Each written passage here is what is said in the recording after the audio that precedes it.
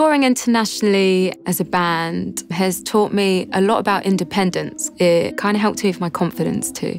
The feeling of being on stage in front of so many people and getting their energy is something that you can't really describe. My personal style changes every day. I think style and wardrobe choices are so important when you're performing. You want to feel confident and you want to feel your best. So I think, yeah, you just got to be comfortable in whatever you're wearing. What I love about Jaeger is how clean and classic everything is. And I feel like I could wear these things over and over again. I just feel, especially right now, you want to wear something that you can wear all the time rather than only wearing it once.